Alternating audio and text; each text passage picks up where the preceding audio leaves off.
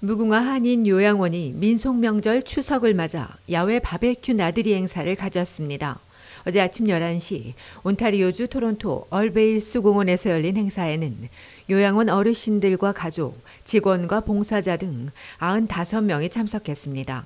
다 함께 아침 체조를 마친 어르신들은 요양원이 준비한 LA 갈비와 영양죽, 과일과 간식을 나누며 행복한 시간을 보냈습니다.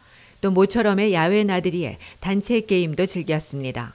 이날 어르신들은 한카드림 시니어 합창단과 함께 노래를 부르며 즐거운 추석 명절을 보냈습니다.